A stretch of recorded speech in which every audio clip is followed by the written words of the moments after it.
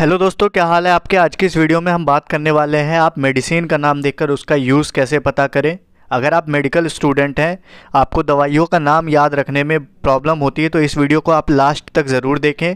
और किसी भी मेडिसिन का यूज़ जानने से पहले उसका नाम देखकर आप यूज़ उसका तभी जान पाएँगे कि ये ड्रग्स कौन सी कैटेगरी से बिलोंग और जिस भी कैटेगरी से वो ड्रग्स बिलोंग करती है उस कैटेगरी या फिर उस मेडिसिन क्लास का यूज़ क्या है? तो ये सारी चीज़ों के बारे में हम इस वीडियो में बात करेंगे बिल्कुल डिटेल में बिल्कुल बेसिक से। तो ये सारी चीज़ें अगर आप जानना चाहते हैं तो इस वीडियो को लास्ट तक ज़रूर देखें। और हाँ हम लोग दस सब्सक्राइबर के काफ़ी ज़्यादा क्लोज हैं तो प्लीज़ ज़्यादा से ज़्यादा लोग सब्सक्राइब करें इस चैनल को और इस वीडियो को ज़्यादा से ज़्यादा लोगों तक शेयर करें और लास्ट तक ज़रूर देखें। तो मेडिसिन का नाम एंड यूज़ पता करने से पहले हम कुछ बेसिक चीज़ों के बारे में जान लेते हैं। हर मेडिसिन में जो कॉमन चीज़ें होती हैं वो prefix root word and suffix ये चीज़ें अगर आपको समझ में आ गई तो आपको मेडिसिन का नाम देखकर यूज़ पता करने में काफ़ी ज़्यादा आसानी होगी। तो मेडिसिन में सबसे ज़्यादा सफिक्स यूज़ होते हैं। तो अगर हम बहुत सारे मेडिसिन के सफिक्स याद कर लेंगे तो हमें उसका यूज़ अपने आप पता चल जाएगा। तो सबसे पहले हम सफिक्स जान लेते होता क्या है? सफिक्स कुछ नहीं है सिंपली कोई भी वर्ड है, उसके जो लास्ट के लेटर हैं, उसको हम सफिक्स बोलते हैं। अगर आप एग्ज़ाम्पल देखें बीटा मेथासोन एंड डाईफ्लोरासोन अगर आप इन दोनों मेडिसिन का नाम बोल कर देखें या कहीं पर लिखें तो और उसमें पॉइंट आउट करें तो आपको एक चीज़ समझ में आ रही होगी कि दोनों के जो लास्ट के लेटर हैं, वो सेम है। मतलब कि जो सफिक्स है, वो सेम है। ए सोन ए सोन जैसा कि अगर बहुत सारी फैमिली में आपने देखा होगा, जो भाई बहन होते हैं या दो भाई होते हैं, उनके नाम सेम होते हैं। जैसे कि राकेश, मुकेश हो गया।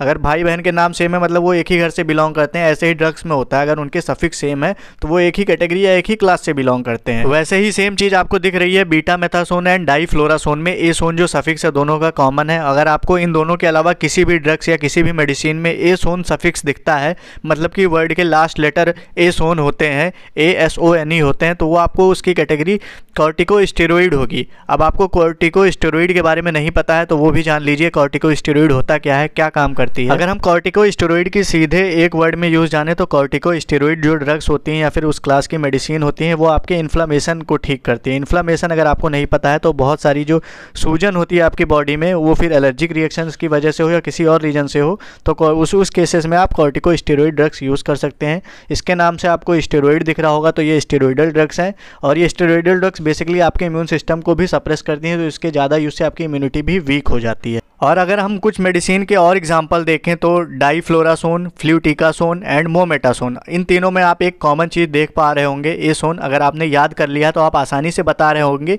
कि इस ड्रग्स की जो क्लास या कैटेगरी है वो कॉर्टिको स्टीरोड है और ये इन्फ्लामेटरी ट्रीटमेंट के लिए यूज़ तो अब हम बात करते हैं अपने अगले मेडिसिन की या एक नए सफिक्स की तो जो हमारा अगला सफिक्स है वो है एफिल।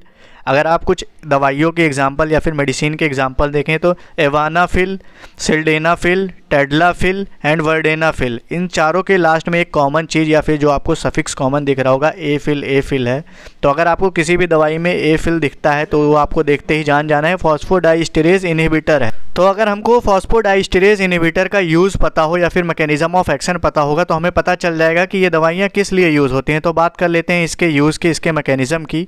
फॉस्फोडाइस्टेरेज इनहिबिटर जो मेडिसिन होती हैं, वो बेसिकली मेल्स के लिए होती हैं। तो ये काम कैसे करती हैं? फॉस्फोडाइस्टेरेज इनहिबिटर होते हैं, वो आपकी बॉडी में जब आप इसको लेते हैं तो आपकी बॉडी में सीजीएमपी का लेवल बढ़ा देते हैं, जिसकी वजह से कुछ एंजाइम्स एक्टिवेट होते हैं, वो आपके लंग्स प्लस जेनाइटल ऑर्गन जो पेनिस होता है, वहाँ की स्मूथ मसल्स को रिलैक्स कर देते हैं, जिसकी वजह से वहाँ पे ब्लड सर्कुलेशन जो होता है वो फास्ट हो जाता है और जेनाइटल ऑर्गन पेनिस में इरेक्शन कॉज होता है। तो ये दवाई जो यूज़ होती है, ये मेडिसिन जो यूज़ होती है, वो इरेक्टाइल डिस्फंक्शन को ट्रीट करने के लिए यूज़ होती है। तो आज के हम लास्ट सफिक्स के बारे में बात कर लेते हैं और सफिक्स और प्रिफिक्स से रिलेटेड पूरी सीरीज़ आने वाली है तो आप प्लीज़ चैनल को सब्सक्राइब करके ज़रूर रख लें।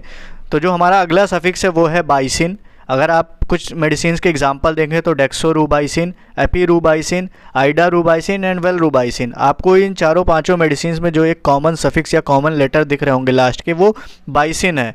अगर आपको किसी भी मेडिसिन के लास्ट में बाइसिन दिखता है तो वो आपको देख के याद कर लेना है कि ये एंटी न्योप्लास्टिक है और जिसकी category anti neoplastic cytotoxic agent है। न्योप्लास्टिक जो टर्म होता है वो कैंसर के लिए यूज़ होता है तो वहीं इसमें एंटी जुड़ा हुआ है तो मतलब कैंसर के अगेंस्ट में मतलब कि कैंसर को ट्रीट करने के लिए जो मेडिसिन यूज़ होती हैं उसे आप एंटी न्योप्लास्टिक या फिर एंटी न्योप्लास्टिक कैटेगरी में रख सकते तो हैं। तो आज से अगर आपको किसी भी मेडिसिन का लास्ट वर्ड या फिर जो सफिक्स है वो बाइसिन दिखता है तो वो देख के याद कर लेना और तुरंत जान जाना है ये एंटी न्योप्लास्टिक कैटेगरी की ड्रग्स है मतलब कि ये कैंसर ट्रीटमेंट में यूज़ होती हैं। तो होपफुली ये वीडियो आपके लिए थोड़ी बहुत हेल्पफुल रही होगी इस वीडियो से आपको थोड़ी बहुत हेल्प मिल पाई होगी। अगली वीडियो आपको किस टॉपिक पे चाहिए और इस वीडियो से रिलेटेड अगर आपको कोई प्रॉब्लम रहती है तो आप हमें कॉमेंट सेक्शन में बता सकते हैं। और इस सीरीज़ की पूरी वीडियो आने वाली है पूरी सीरीज़ आने वाली है तो प्लीज़ चैनल को सब्सक्राइब करके रख लें और ज़्यादा से ज़्यादा लोगों तक शेयर करें इस वीडियो को। Thank you